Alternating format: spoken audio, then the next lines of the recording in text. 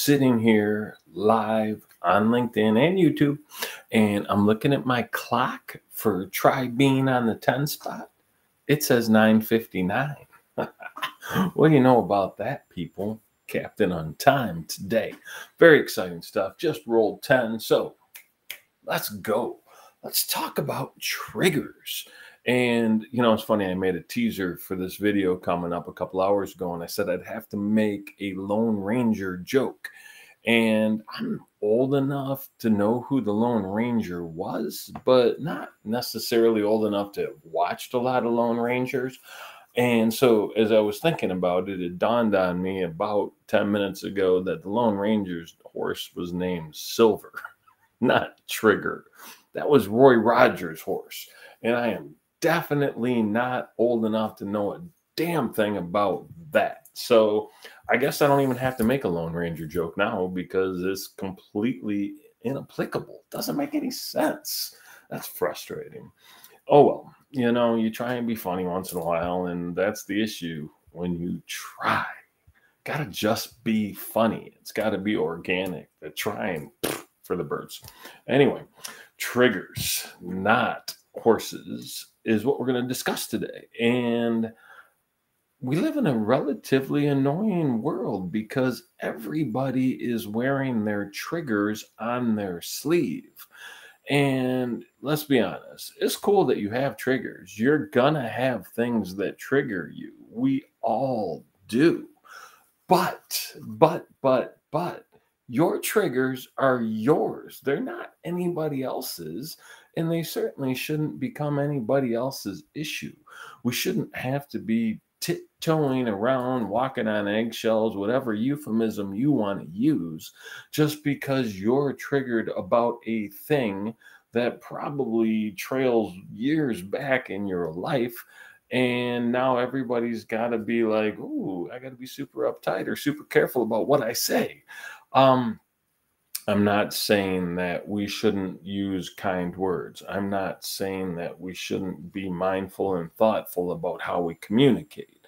I am saying that some of us are triggered by the weirdest stuff that is really nobody's business but yours. And so, how do we get better at this?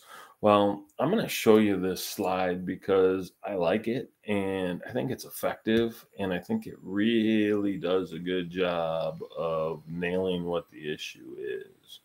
Chrome tab, not what I'm looking for. This is what I'm looking for right here.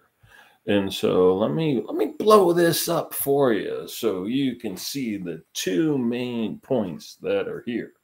Number 1, is on the left. People can't push your buttons if you don't let them. What does that mean? Well, that means, as stated clearly, your triggers are yours. And so, yeah, you can have things that bug you or set you off or that you're uncomfortable with. But that doesn't mean that somebody talking about it, sharing about it, bringing it up, posting about it, can bother you if you say, Pooh, you know what? This is my issue, not yours. I'm going to deal with it. And the beautiful thing about that thought process is you don't even have to say it out loud, right? You can internalize that. You can say, I know this is an area that bugs me and I need to work on it. I had a situation the other day where I was triggered. Um, I'm doing some consulting work with a client of mine, a friend of mine, Bruce Covington, over at BJ Cass Advisors. And Bruce said, Hey, I'm going to get you business cards. Now, to be fair, I haven't, I, I had business cards with the insurance company when I was there, but I haven't purchased business cards for my company in years because I don't hand them out. I'm like, you want to find me? Look for me. I'm easy to find. If you d- can't find me, oh. you didn't look hard enough. Stay away from the Terry Bean in Oregon. That's a whole different conversation. But if you want to Google it, don't say I didn't warn you. So when he was asking about the business cards, he said, What do you want your title to be? And before I could answer, he said, Account executive. And dude, that triggered me, man. And I was like, what the heck is this dude talking about? Account executive. I'm not an account executive. I haven't been an account executive since 2002. And even then, I was a senior account executive. Yeah, senior account executive. That's right. Um, and and I know, I know, I know he didn't mean anything about it by it. I know he wasn't thinking about it. I know it didn't have any impact on him. But I sat with that crap for like two hours that day, really trying to figure out what was it that bothered me so much about, you know, some fictitious couple of words on a business card. Why does it even matter? But it did, and it did.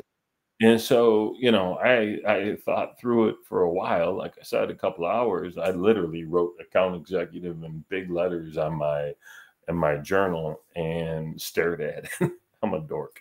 I didn't do this two hours straight, by the way. I had other things that I had to do, but I let it ruminate in the back of my mind as I was working on some other things.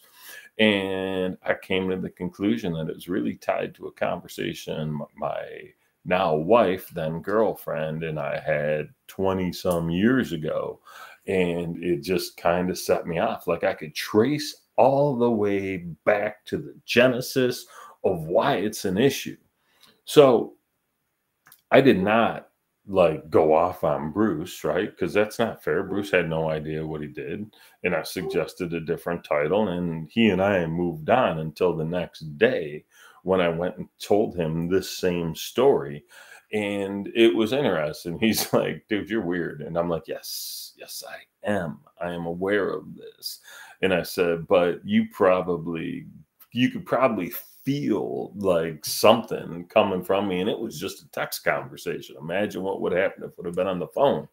And so I wanted to explain it because, again, you know, he didn't mean any malice or anything by it. He just suggested a couple of words that he's familiar with in his parlance.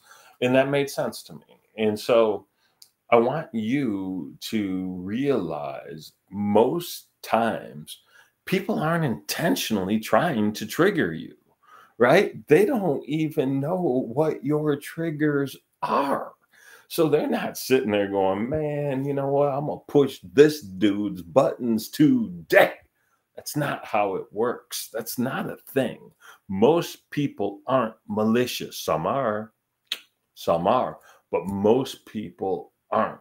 And the best way to make sure that people can't push your buttons is the second point on this slide.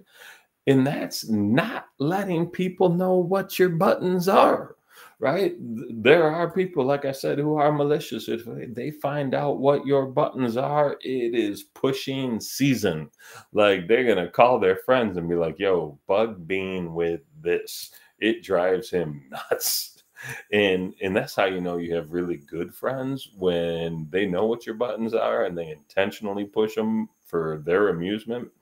And also to desensitize you to what those issues are. If you think about it you start hearing the same crap enough eventually it's gonna stop bugging you because you're gonna have to let it stop bugging you. You're gonna have to make it stop bugging you right think about it because if it's the same thing over and over and over again, that is the literal definition of insanity, according to Albert Einstein, doing the same thing over again, expecting different results.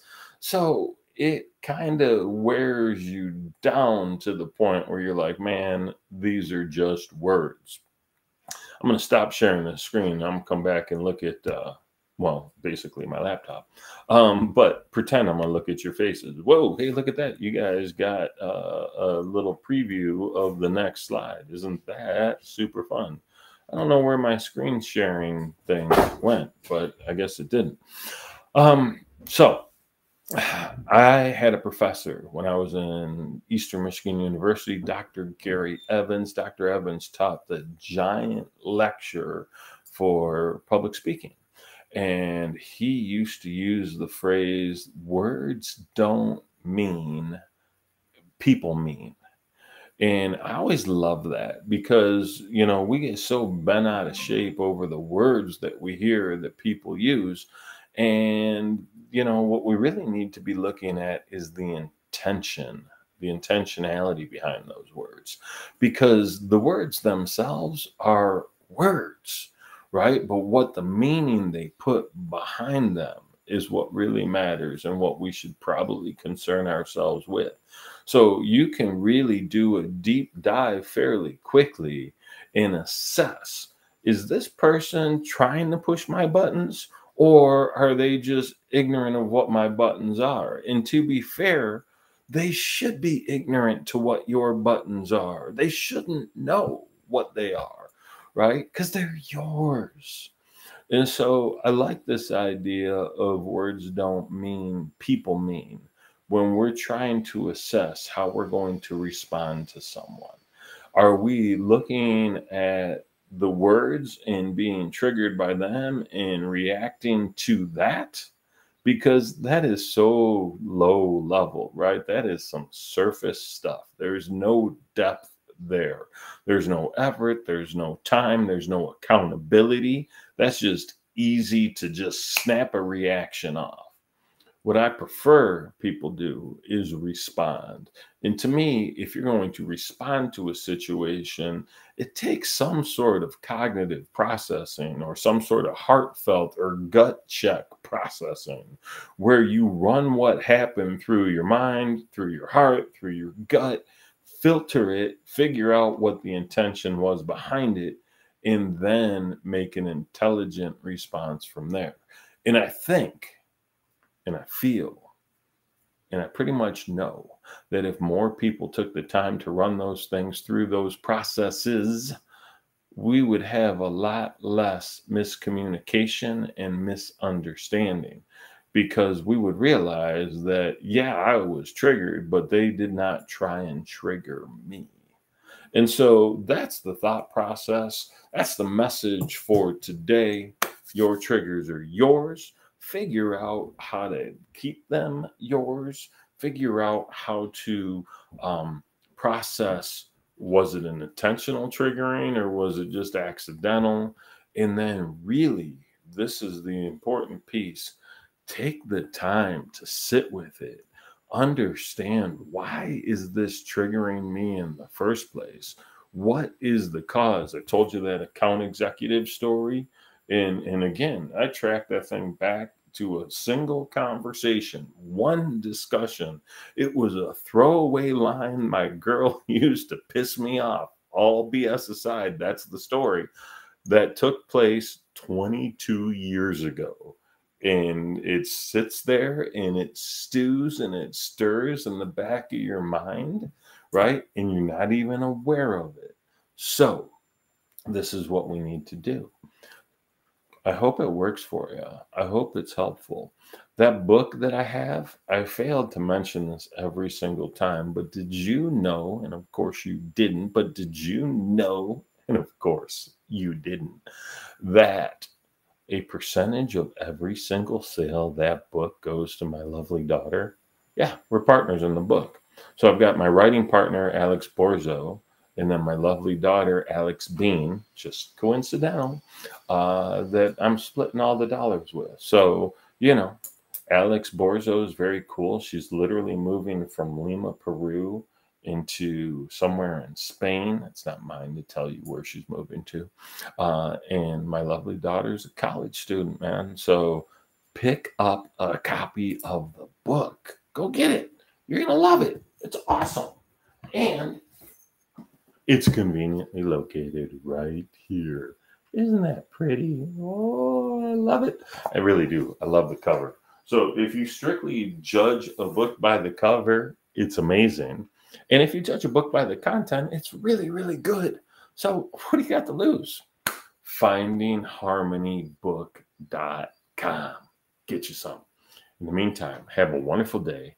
I'll see you in a week if I don't see you first. And uh, I'll look forward to our next interaction. Thanks for stopping by, y'all. Be well.